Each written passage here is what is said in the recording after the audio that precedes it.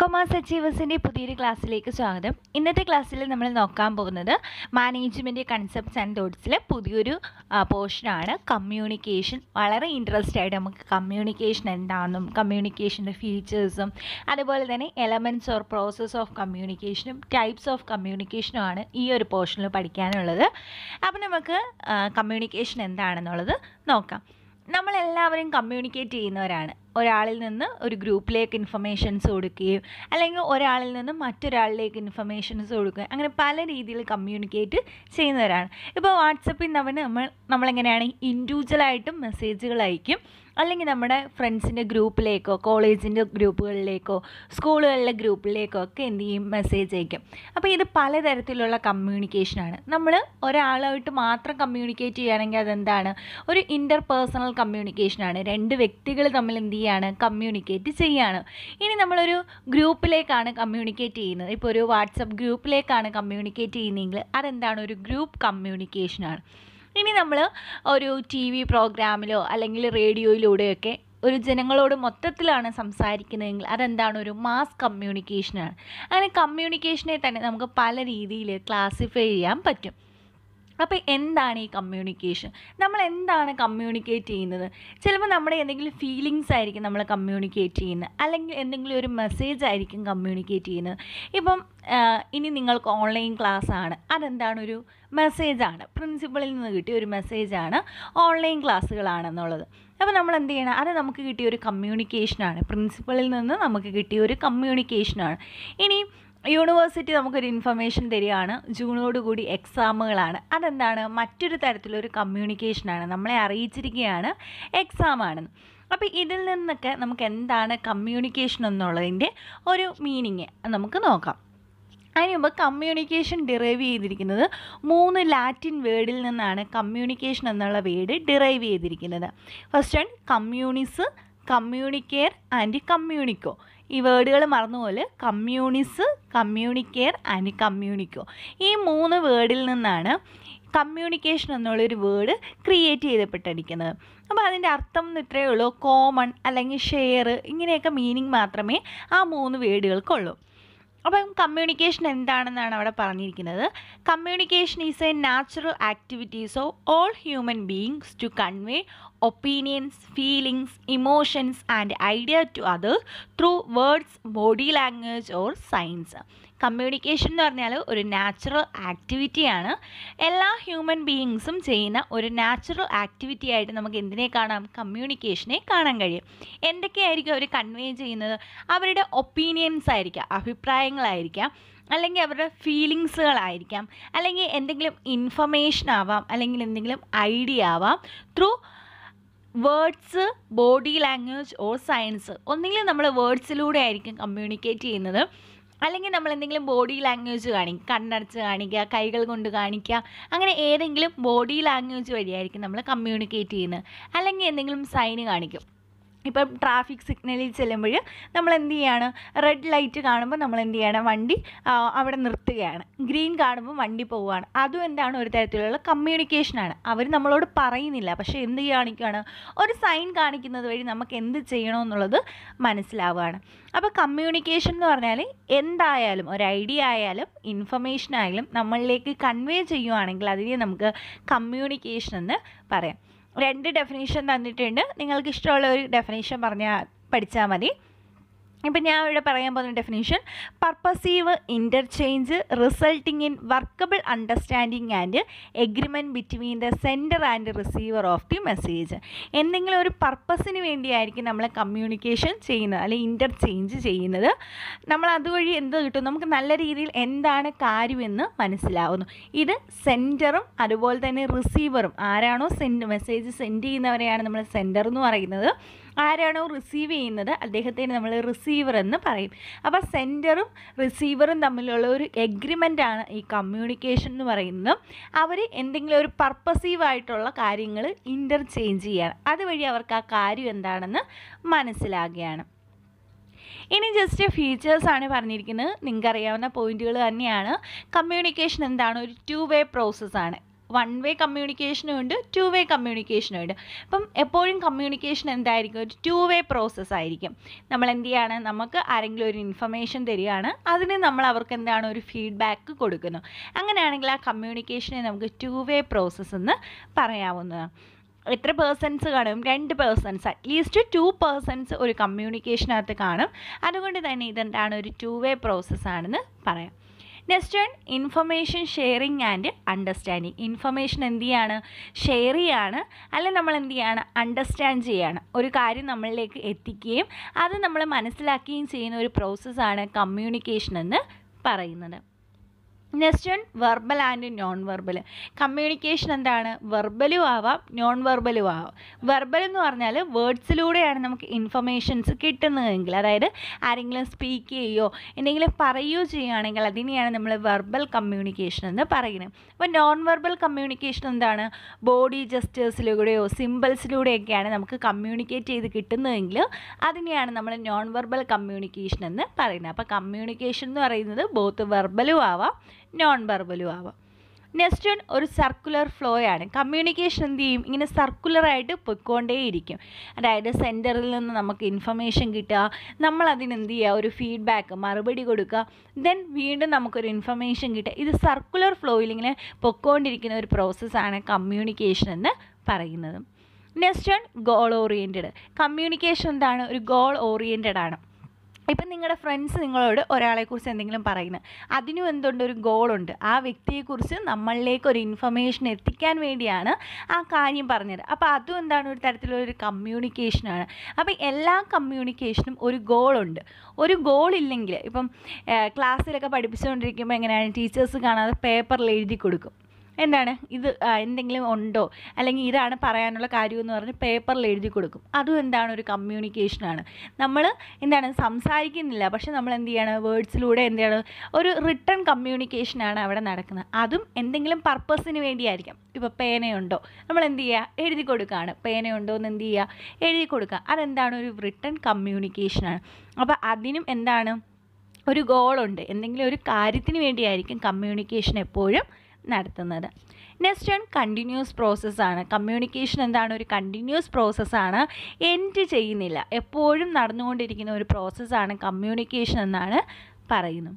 Next one it is a prime pervasive activity pervasive activity എന്ന് പറഞ്ഞാൽ എല്ലാ സ്ഥലത്തും നമുക്ക് കമ്മ്യൂണിക്കേഷൻ കാണാൻ കഴിയും. അതായത് ടോപ്പ് ലെവലായാലും മിഡിൽ ലെവലായാലും ലോവർ ലെവലായാലും ഏത് ലെവൽസിലായാലും നമുക്ക് കമ്മ്യൂണിക്കേഷൻ ഉണ്ടായിരിക്കും. അതുകൊണ്ട് തന്നെ കമ്മ്യൂണിക്കേഷൻ എന്താണെന്ന് പറയാം ഒരു പെർവസീവ് ആക്ടിവിറ്റി ആണെന്ന് പറയാം. നെക്സ്റ്റ് യൂണിവേഴ്സൽ കമ്മ്യൂണിക്കേഷൻ എന്താണ്? യൂണിവേഴ്സലാണ് എല്ലായിടത്തും എന്തുണ്ട്? കമ്മ്യൂണിക്കേഷൻ ഉണ്ട്. നമ്മളൊരു വ്യക്തി നമ്മളൊരു സ്ഥലത്ത് ജീവിക്കുകയാണെങ്കിൽ പോലും നമുക്ക് എന്ത് ചെയ്യണം? കമ്മ്യൂണിക്കേറ്റ് ചെയ്താൽ മാത്രമേ നല്ല രീതിയിൽ ജീവിക്കാനായിട്ട് പറ്റത്തുള്ളൂ. അല്ലെങ്കിൽ നമ്മൾ ആരുമായിട്ടും കമ്മ്യൂണിക്കേഷൻ ഇല്ലെങ്കിൽ നമ്മളൊരു കാര്യങ്ങളും അറിയത്തില്ല. നമുക്കൊരു ഇൻഫർമേഷനും കരുതി. ഇപ്പം നമ്മൾ ആരോടും സംസാരിക്കുന്നില്ല. വീട്ടിലിരുന്ന് ടി വി കാണുവാണ്. അതും എന്താണ് ഒരു കമ്മ്യൂണിക്കേഷനാണ്. കാരണം എന്താണ്? നമുക്ക് ടി വിയിൽ നിന്ന് അല്ലെ ടെലിവിഷനിൽ നിന്ന് ഇൻഫർമേഷൻസ് ആണ് കിട്ടുന്നത്. അതും അപ്പോൾ എന്ത് തന്നെയാണ്? ഒരു കമ്മ്യൂണിക്കേഷൻ തന്നെയാണ്. നെക്സ്റ്റ് വൺ ഇതൊരു സോഷ്യൽ പ്രോസസ്സാണ് കമ്മ്യൂണിക്കേഷൻ എന്താണ്? സോഷ്യൽ പ്രോസസ്സാണ് സൊസൈറ്റിയുടെ നീഡ്സ് കൂടി സാറ്റിസ്ഫൈ ചെയ്യാൻ വേണ്ടിയാണ് നമ്മൾ കമ്മ്യൂണിക്കേറ്റ് ചെയ്യുന്നതെന്നാണ് പറയുന്നത്. നെക്സ്റ്റ് വൺ ഒരു മൾട്ടി ഡയമെൻഷണാലിറ്റി ഉണ്ട്. കമ്മ്യൂണിക്കേഷൻ എന്ന് പറയുന്നത് മൾട്ടിപ്പിൾ പർപ്പസിന് വേണ്ടിയായിരിക്കും അല്ലെങ്കിൽ മൾട്ടിപ്പിൾ ആയിട്ടുള്ള കാര്യങ്ങൾ അതിൽ ഇൻക്ലൂഡ് ചെയ്യുന്നുണ്ട്. ഒരു മെസ്സേജ് വേണം അത് നമുക്ക് ട്രാൻസ്ഫർ ചെയ്യാൻ ഒരു ചാനൽ ഒരു മീഡിയം വേണം ഓഡിയൻസ് വേണം അങ്ങനെ എല്ലാ കാര്യങ്ങളൂടെ ചേരുന്നതിനെയാണ് നമ്മൾ കമ്മ്യൂണിക്കേഷൻ എന്ന് പറയുന്നത്. ഇനി നമുക്ക് ജസ്റ്റ് ഒബ്ജക്റ്റീവ്സ് ഒന്ന് നോക്കി പോവാം. ഫസ്റ്റ് വേണ്ട എന്താണ്? Convey the right message message കറക്റ്റായിട്ട് കൺവേ ചെയ്യാൻ ട്രാൻസ്ഫർ ചെയ്യാൻ നമുക്ക് കമ്മ്യൂണിക്കേഷൻ വേണം. കറക്റ്റ് അല്ലേ? നമുക്ക് എന്തെങ്കിലും ഇൻഫർമേഷൻസ് ഒരാൾക്ക് കൊടുക്കാൻ വേണ്ടി നമുക്ക് എന്ത് ചെയ്തേ പറ്റൂ? കമ്മ്യൂണിക്കേറ്റ് ചെയ്തേ പറ്റൂ. ഇപ്പം എന്താണ്? ഒരു ഗൾഫിലുള്ള ഒരാളോട് നമുക്ക് കാര്യങ്ങൾ പറയണം. ഒന്നുകിൽ നമ്മൾ വീഡിയോ കോൾ ചെയ്യുക അല്ലെങ്കിൽ ഫോൺ വിളിക്കുക അല്ലെങ്കിൽ ലെറ്റർ എഴുതുക മെയിൽ അയക്കുക ഇത് ഏത് രീതി ചെയ്താലും അതെന്താണ് ഒരു കമ്മ്യൂണിക്കേഷനാണെന്ന് പറയാം. നെക്സ്റ്റ് വൺ കോർഡിനേഷൻ എല്ലാ കാര്യങ്ങളെയും കൂടെ കോർഡിനേറ്റ് ചെയ്ത് കൊണ്ടുവരാൻ നല്ലൊരു കമ്മ്യൂണിക്കേഷൻ വേണം. ഇപ്പോൾ ഒരു ബിസിനസ് ഓർഗനൈസേഷൻ ആണെങ്കിൽ പോലും ആ ബിസിനസ് ഓർഗനൈസേഷന് എല്ലാ എംപ്ലോയീസിനെയും കൂടി ഒരുമിച്ച് കൊണ്ടുവന്ന് കാര്യങ്ങൾ കറക്റ്റായിട്ട് തീരുമാനിക്കാൻ എന്ത് വേണം ഒരു കോർഡിനേഷൻ വേണമെങ്കിൽ കമ്മ്യൂണിക്കേഷൻ ആവശ്യമാണ്. Next one development of managerial skill നല്ല മാനേജീരിയൽ സ്കില്ല് ഡെവലപ്പ് ചെയ്തെടുക്കാൻ നമുക്ക് കമ്മ്യൂണിക്കേഷൻ വേണം. കാരണം അപ്വേർഡായിട്ടും ഡൗൺവേർഡായിട്ടുള്ള കമ്മ്യൂണിക്കേഷൻ നടക്കും. നമുക്ക് മാനേജ്മെന്റ് മാനേജറിൽ നിന്ന് എംപ്ലോയീസിലേക്കും അതുപോലെ തന്നെ എംപ്ലോയീസിൽ നിന്ന് മാനേജറിലേക്കും കമ്മ്യൂണിക്കേഷൻ നടക്കും. ഇത് ഒരു മാനേജീരിയൽ സ്കില്ല് ഡെവലപ്പ് ചെയ്തെടുക്കാനായിട്ട് സാധിക്കും. Next good industrial relations. നല്ല റിലേഷൻഷിപ്പ് ക്രിയേറ്റ് ചെയ്യാനായിട്ട് നമുക്ക് കമ്മ്യൂണിക്കേഷൻ വേണം. ഇപ്പം നമ്മുടെ ഓർഗനൈസേഷൻ മറ്റ് ഓർഗനൈസേഷനുമായിട്ട് നല്ല രീതിയിൽ കമ്മ്യൂണിക്കേറ്റ് ചെയ്തെങ്കിൽ മാത്രമേ നമുക്ക് നമ്മുടെ ഓർഗനൈസേഷന് development ഉണ്ടാകത്തുള്ളൂ. Next one effective implementation of policies and programs നമ്മൾ എന്ത് ചെയ്യണം? കറക്റ്റായിട്ട് പോളിസീസും പ്രോഗ്രാംസും ഒരു ഓർഗനൈസേഷനിൽ ഡെവലപ്പ് ചെയ്തെടുക്കണമെങ്കിൽ നമുക്കവിടെ കമ്മ്യൂണിക്കേഷൻ വളരെയധികം അത്യാവശ്യമാണ്. ഇനിയുള്ളത് needs or importance of communication ആണ്. ഇത് നിങ്ങളുടെ സിലബസിൽ നീഡ്സ് ഓർ ഇമ്പോർട്ടൻസ് ചോദിച്ചിട്ടുണ്ട് കമ്മ്യൂണിക്കേഷന്റെ അപ്പം എന്തൊക്കെയാണ് അതിന്റെ പ്രാധാന്യം? എന്തൊക്കെയാണല്ലേ കമ്മ്യൂണിക്കേഷന്റെ ആവശ്യകതകളെന്നാണ് അതിപ്പോൾ പറഞ്ഞ പോയിന്റുകൾ തന്നെയാണ് കുറച്ചുകൂടെ ഇതായിട്ട് പറഞ്ഞിട്ടുണ്ട് എന്നേ ഉള്ളൂ. First and promote motivation motivation കിട്ടാൻ വേണ്ടി നമുക്ക് എന്ത് വേണം? കമ്മ്യൂണിക്കേഷൻ കിട്ടണം. കാരണം നമ്മൾ കറക്റ്റായിട്ട് കാര്യങ്ങൾ പറഞ്ഞ് മനസ്സിലാക്കിയെങ്കിൽ അല്ലെങ്കിൽ കറക്റ്റായിട്ട് വർക്ക് എങ്ങനെയാണ് ചെയ്യേണ്ടതെന്ന് കറക്റ്റായിട്ട് പറഞ്ഞിട്ടുണ്ടെങ്കിൽ മാത്രമേ അവർക്ക് ആ വർക്ക് ചെയ്യാനായിട്ട് സാധിക്കത്തുള്ളൂ. അതുകൊണ്ട് തന്നെ ഒരു മോട്ടിവേഷൻ ക്രിയേറ്റ് ചെയ്യാനായിട്ട് നമുക്ക് കമ്മ്യൂണിക്കേഷൻ ആവശ്യമാണ്. Next one sources of information നല്ലൊരു സോഴ്സ് വേണം. എന്താണോ നമ്മൾ ട്രാൻസ്ഫർ ചെയ്യുന്നത് അല്ലെങ്കിൽ എന്ത് ഐഡിയ ആണോ മെസ്സേജ് ആണോ ട്രാൻസ്ഫർ ചെയ്യുന്നത് ആ ഓർഗനൈസേഷൻ എല്ലാവർക്കും കൂടി നല്ല രീതിയിലുള്ള ഡിസിഷൻ മേക്കിംഗ് പ്രോസസ്സ് ക്രിയേറ്റ് ചെയ്യാനായിട്ട് സാധിക്കത്തുള്ളൂ. അതുകൊണ്ട് തന്നെ ഇതൊരു സോഴ്സസ് ഓഫ് ഇൻഫർമേഷൻ ആണെന്ന് പറയാം. Next one help in altering the attitude of individuals ചില ഇൻഡിവിജ്വൽസിന്റെ സ്വഭാവത്തിൽ നമുക്ക് മാറ്റങ്ങൾ വരുത്താനായിട്ട് സാധിക്കും. അതായത് നമ്മളിപ്പോൾ മാഗസീൻസ് ജേണൽസ് മീറ്റിങ്സ് ഇങ്ങനെയുള്ള പല രീതിയിലുള്ള ഓറലും റിട്ടനും ആയിട്ടുള്ള കമ്മ്യൂണിക്കേഷൻസ് ഓരോ പേഴ്സന്റെയും ആറ്റിറ്റ്യൂഡിൽ മാറ്റം വരുത്താനായിട്ട് സാധിക്കും. ഇപ്പോൾ വനിതയുണ്ട് ഇപ്പോൾ ബാലരമ ബാലഭൂമി ഇതൊക്കെ എന്താണ്? ഓരോരുത്തരിലെ വായനാശീലം വർദ്ധിപ്പിക്കാനായിട്ട് സഹായിക്കുന്നതാണ്. ഇപ്പം വായിക്കാത്തവർ പോലും ബാലരമയൊക്കെ വായിക്കും. അതെന്തായിരിക്കും? അയാളിലേക്ക് ഒരു കമ്മ്യൂണിക്കേഷൻ വഴി ആ ഒരു ശീലം ഡെവലപ്പ് ചെയ്ത് എടുക്കുകയാണ്. നെക്സ്റ്റ് ഹെൽപ്സിങ് സോഷ്യലൈസിങ് എല്ലാവരുമായിട്ട് ഒരു സോഷ്യലൈസ് ചെയ്യുക എന്ന് പറഞ്ഞാൽ എന്താണ്? എല്ലാവരുമായിട്ട് നല്ല രീതിയിൽ ഇടപെടാൻ കമ്മ്യൂണിക്കേഷൻ അത്യാവശ്യമാണ്. നല്ല രീതിയിൽ ഒരു സൊസൈറ്റിയിൽ സർവൈവ് ചെയ്ത് പോകണമെങ്കിൽ നമുക്ക് എന്ത് വേണം? നല്ല രീതിയിൽ കമ്മ്യൂണിക്കേഷൻ വേണം. Next one assisting controlling process എല്ലാ കാര്യങ്ങളെയും പ്രോസസ്സിനെ എന്ത് ചെയ്യണം കൺട്രോൾ ചെയ്യണമെങ്കിൽ നമുക്ക് കമ്മ്യൂണിക്കേഷൻ വേണം. കാരണം ഓരോ പേഴ്സന്റെയും ബിഹേവിയറിനെ നമുക്ക് കൺട്രോൾ ചെയ്ത് നിർത്തണമെങ്കിൽ നല്ല രീതിയിൽ കമ്മ്യൂണിക്കേറ്റ് ചെയ്തെങ്കിൽ മാത്രമേ പറ്റൂ. Next base for actions correct ആയിട്ടുള്ള ആക്ഷൻസ് ടേക്കൺ ചെയ്യാൻ അല്ലെങ്കിൽ ആക്ഷൻസ് എടുക്കാൻ വേണ്ടി നമുക്ക് കമ്മ്യൂണിക്കേഷൻ വേണം. കമ്മ്യൂണിക്കേഷൻ ഉണ്ടെങ്കിൽ മാത്രമേ നല്ല രീതിയിലുള്ള ആക്ഷൻസ് എക്സ്റ്റാബ്ലിഷ് ചെയ്യാൻ അല്ലെങ്കിൽ നടപ്പിലാക്കാനും സാധിക്കത്തുള്ളൂ. Next one facilitative planning correct plan ചെയ്യാനായിട്ട് അതായത് ഒരു ഓർഗനൈസേഷനിൽ എന്തൊക്കെ കാര്യങ്ങൾ ചെയ്യണം എങ്ങനെയാണ് ചെയ്യേണ്ടത് ഇതെല്ലാം എംപ്ലോയീസിനോടും അതുപോലെ തന്നെ അവിടെയുള്ള മറ്റുള്ളവരുമായിട്ട് കമ്മ്യൂണിക്കേറ്റ് ചെയ്തിട്ട് വേണം നമുക്ക് കറക്റ്റായിട്ടുള്ള ഇൻഫർമേഷൻസ് എടുക്കാനായിട്ട്.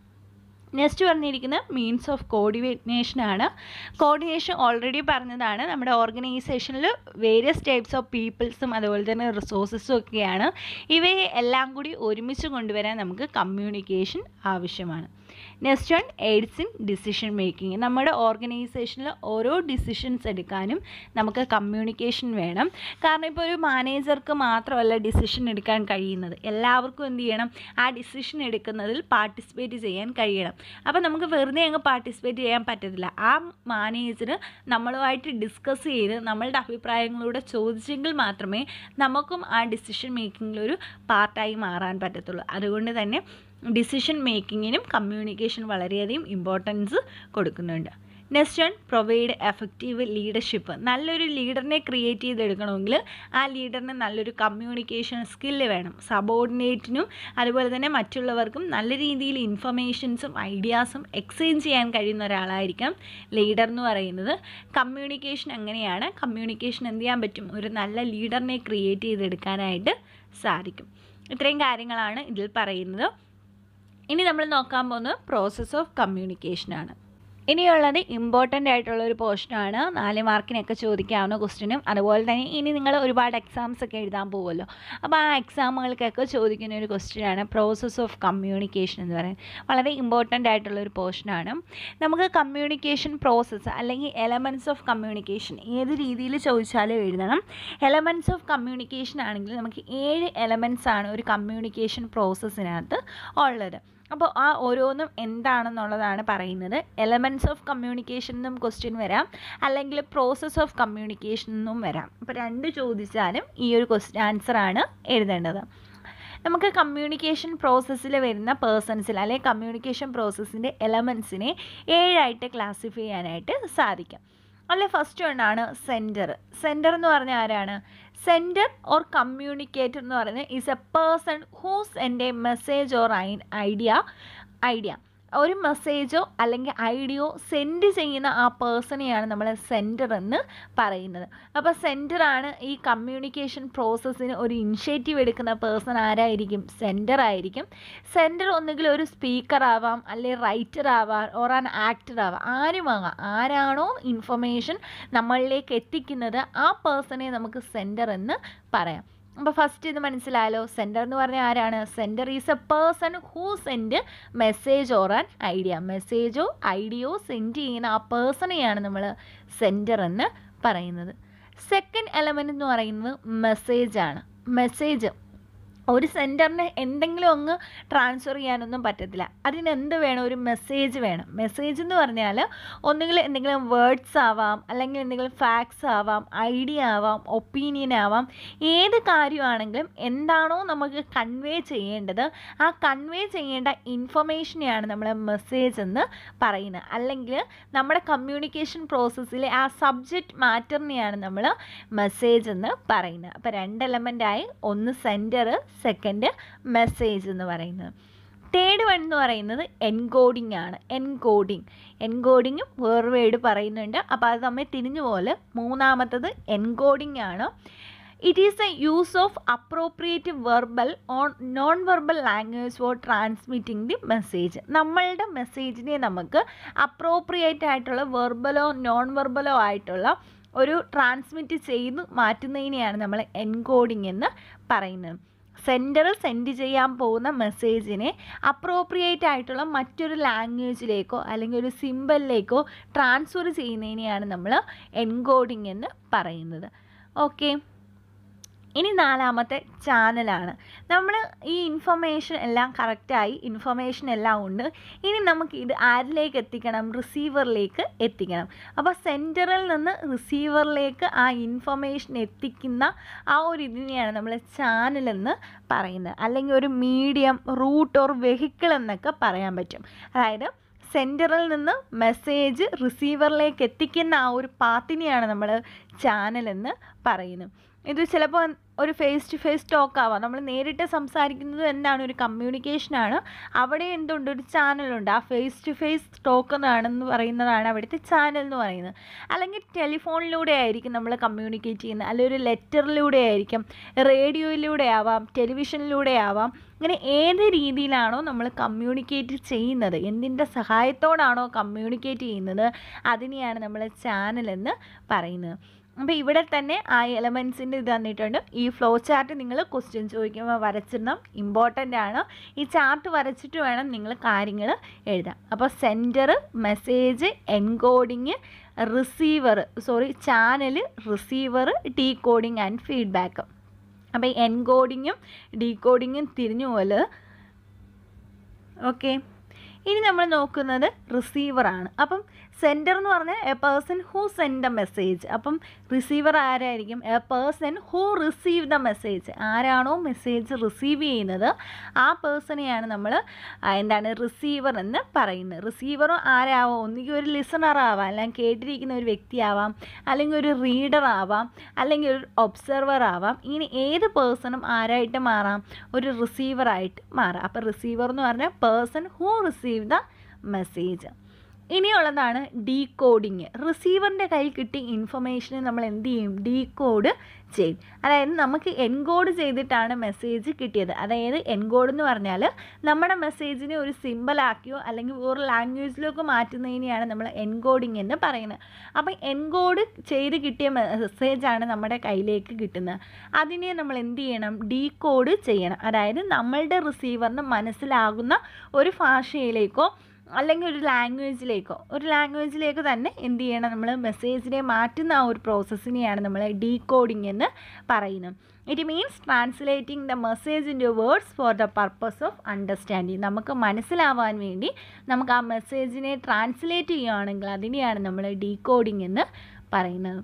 ലാസ്റ്റ് എലമെന്റ് ആണ് ഫീഡ്ബാക്ക് ഈ ഫീഡ്ബാക്ക് ഉണ്ടെങ്കിൽ മാത്രമേ കമ്മ്യൂണിക്കേഷൻ എന്താവും ഒരു ടു വേ പ്രോസസ്സായിട്ട് മാറത്തുള്ളൂ. അല്ലെങ്കിൽ കമ്മ്യൂണിക്കേഷൻ എന്താണ് ഒരു വൺ വേ പ്രോസസ്സാണ് എന്താണ് നമുക്ക് ഇൻഫർമേഷൻ കിട്ടി നമ്മളത് കേട്ടു. പക്ഷെ നമ്മളൊരു ടു വേ പ്രോസസ്സ് ആകണമെങ്കിൽ നമ്മൾ എന്ത് കൊടുക്കണം? ഒരു ഫീഡ്ബാക്ക് കൊടുക്കണം. ഫീഡ്ബാക്ക് എവിടെ നിന്നായിരിക്കും പോകുന്നത്? റിസീവറിൽ നിന്നും സെന്ററിലേക്കാണ് ഫീഡ്ബാക്ക് പോകുന്നത്. ആ ഫീഡ്ബാക്കിൽ എന്താണോ അണ്ടർസ്റ്റാൻഡ് ചെയ്തത് അല്ലെങ്കിൽ അയാൾ തന്നിരിക്കുന്ന മെസ്സേജിനുള്ള റിപ്ലൈ ആണ് നമ്മൾ ഫീഡ്ബാക്കിലൂടെ കൊടുക്കുന്നത്. ഇത്രയും ഏഴ് പ്രോസസ്സാണ് അല്ലെങ്കിൽ ഏഴ് എലമെന്റ്സ് ആണ് കമ്മ്യൂണിക്കേഷനുള്ളത് sender message encoding channel receiver decoding and feedback okay ഇനി നമ്മൾ നോക്കുന്നത് ക്ലാസിഫിക്കേഷൻ ഓഫ് കമ്മ്യൂണിക്കേഷനാണ് ക്ലാസിഫിക്കേഷൻ ഓഫ് കമ്മ്യൂണിക്കേഷൻ എന്താണ് ഒരു നമ്പർ ഓഫ് പേഴ്സൺസിന്റെ അടിസ്ഥാനത്തിൽ എങ്ങനെയാണ് കമ്മ്യൂണിക്കേഷനെ ക്ലാസിഫൈ ചെയ്യുന്നതെന്നാണ്. നെക്സ്റ്റ് ക്ലാസ്സിൽ നമ്മൾ ഡീറ്റെയിൽഡ് ആയിട്ട് ടൈപ്സ് ഓഫ് കമ്മ്യൂണിക്കേഷൻ ഏതൊക്കെയാണെന്ന് നോക്കും. അപ്പോൾ ഇപ്പോൾ നമ്മൾ ക്ലാസിഫിക്കേഷൻ ഓഫ് കമ്മ്യൂണിക്കേഷൻ നമുക്ക് നാലായിട്ട് ക്ലാസിഫൈ ചെയ്യാം. പേഴ്സൺസിന്റെ അടിസ്ഥാനത്തിൽ നാലായിട്ട് നമുക്ക് കമ്മ്യൂണിക്കേഷനെ ക്ലാസിഫൈ ചെയ്യാം. First one intra personal second inter personal third one group and fourth one mass communication നമുക്കറിയാവുന്നത് തന്നെയാണ്. ഇൻട്രാ പേഴ്സണൽ കമ്മ്യൂണിക്കേഷൻ എന്ന് പറഞ്ഞാൽ communicate with own one's own mind അതായത് നമ്മൾ നമ്മളോട് തന്നെ സംസാരിക്കുകയാണെങ്കിൽ അതിനെയാണ് ഇൻട്രാ പേഴ്സണൽ കമ്മ്യൂണിക്കേഷൻ എന്ന് പറയുന്നത്. നമ്മൾ നമ്മളുടെ മൈൻഡിനോട് തന്നെ അല്ലെങ്കിൽ നമ്മൾ നമ്മുടെ മനസ്സിനോട് തന്നെ സംസാരിക്കുകയാണെങ്കിൽ അതിനെയാണ് നമ്മൾ ഇൻട്രാ പേഴ്സണൽ കമ്മ്യൂണിക്കേഷൻ എന്ന് പറയുന്നത്. അവിടെ ഒരു പേഴ്സൺ മാത്രമേ ഉള്ളൂ ഒരു വ്യക്തി അയാളോട് മാത്രം സംസാരിക്കുന്നു. നെക്സ്റ്റ് ഇന്റർ പേഴ്സണൽ കമ്മ്യൂണിക്കേഷനാണ് ഇന്റർ പേഴ്സണൽ കമ്മ്യൂണിക്കേഷൻ എന്ന് പറഞ്ഞാൽ രണ്ട് വ്യക്തികൾ തമ്മിലുള്ള കമ്മ്യൂണിക്കേഷനെയാണ് നമ്മൾ ഇന്റർ പേഴ്സണൽ കമ്മ്യൂണിക്കേഷൻ എന്ന് പറയുന്നത്. ഒരു സെന്റർ അദ്ദേഹത്തിന്റെ മെസ്സേജ് റിസീവറിലേക്ക് എത്തിക്കുന്നു. അവിടെ നടക്കുന്നത് ഇന്റർ പേഴ്സണൽ കമ്മ്യൂണിക്കേഷനാണ് അത് വേണമെങ്കിൽ ഒരു കോൺവെർസേഷൻ ആവാം അല്ലെങ്കിൽ എന്തെങ്കിലും ഡയലോഗ് ആവാം ഒരു ഇന്റർവ്യൂ ആവാം. ഇത് ഏതായാലും അതെന്താണ്? ഒരു ഇന്റർ പേഴ്സണൽ കമ്മ്യൂണിക്കേഷൻ ആണ്. നെക്സ്റ്റ് വൺ ഗ്രൂപ്പ് കമ്മ്യൂണിക്കേഷനും മാസ് കമ്മ്യൂണിക്കേഷനും ഇൻട്രായും ഇന്ററും മനസ്സിലായാലോ ഇൻട്രാ എന്ന് പറഞ്ഞാൽ വിത്തിൻ ഓൺ സെൽഫ് നമ്മുടെ സെൽഫിനോട് തന്നെ നമ്മൾ സംസാരിക്കുകയാണെങ്കിൽ അതിന് ഇൻട്രാ പേഴ്സണലും ഇന്റർ പേഴ്സണൽ എന്ന് പറഞ്ഞാൽ ഫോർ അനദർ പേഴ്സൺ മറ്റൊരു പേഴ്സണുമായിട്ടാണ് കമ്മ്യൂണിക്കേറ്റ് ചെയ്യുന്നതെങ്കിൽ അതിനെ നമ്മൾ ഇന്റർ പേഴ്സണൽ കമ്മ്യൂണിക്കേഷൻ എന്നും പറയും. ഇനി നമ്മൾ നോക്കുന്നത് ഗ്രൂപ്പ് കമ്മ്യൂണിക്കേഷനും മാസ് കമ്മ്യൂണിക്കേഷനുമാണ്. ഗ്രൂപ്പ് കമ്മ്യൂണിക്കേഷൻ എന്ന് പറഞ്ഞാൽ ഒരു സ്മാൾ ഓർ ലാർജ് ഗ്രൂപ്പിനെ നമ്മൾ പ്രതിനിധീകരിക്കുകയാണെങ്കിൽ അതിനെയാണ് നമ്മൾ ഗ്രൂപ്പ് കമ്മ്യൂണിക്കേഷൻ എന്ന് പറയുന്നത്. എക്സാമ്പിൾ ഒരു ടീച്ചർ ക്ലാസ് എടുക്കുന്നത് എന്താണ്? ഒരു ഗ്രൂപ്പ് കമ്മ്യൂണിക്കേഷനാണ് ടീച്ചർ ആ ടീച്ചറിന്റെ അടുത്തിരിക്കുന്ന ഒരു നൂറ് അമ്പത് കുട്ടികൾക്ക് വേണ്ടി എന്ത് ചെയ്യാണ്? കമ്മ്യൂണിക്കേറ്റ് ചെയ്യുകയാണ് അടുത്തത് മാസ് കമ്മ്യൂണിക്കേഷൻ ആണ്. ഒരു large number of group of പീപ്പിൾസിന്റെ അടുത്താണ് നമ്മൾ കമ്മ്യൂണിക്കേറ്റ് ചെയ്യുന്നതെങ്കിൽ അതിനെയാണ് നമ്മൾ മാസ് കമ്മ്യൂണിക്കേഷൻ എന്ന് പറയുന്നത്. ഒരു ന്യൂസ് പേപ്പർ ആവാം അല്ലെങ്കിൽ റേഡിയോ ആവാം ടെലിവിഷൻ ആവാം ഇങ്ങനെ ഏത് രീതിയിലും നമുക്ക് കമ്മ്യൂണിക്കേറ്റ് ചെയ്യാനായിട്ട് പറ്റും. ഇത്രയാണ് classification on the basis of number of പേഴ്സൺസിന്റെ അടിസ്ഥാനത്തിൽ ക്ലാസിഫൈ ചെയ്യുന്നത്. അപ്പോൾ നെക്സ്റ്റ് ക്ലാസ്സിൽ നമുക്ക് ടൈപ്സ് ഓഫ് കമ്മ്യൂണിക്കേഷനും അതിന്റെ കൂടെ തന്നെ ബാരിയേഴ്സ് ഓഫ് കമ്മ്യൂണിക്കേഷൻ നോക്കാം. അപ്പോൾ ഇന്നത്തെ ക്ലാസ് വരെയുള്ളത് നിങ്ങൾ വീഡിയോസ് കണ്ടു നോക്കുക. ക്ലാസ്സുകൾ കണ്ടു നോക്കി എന്തെങ്കിലും ഡൗട്ടുകൾ ഉണ്ടെങ്കിൽ കമന്റിലൂടെ ചോദിക്കുക. നെക്സ്റ്റ് ക്ലാസ്സിൽ കാണാം. താങ്ക്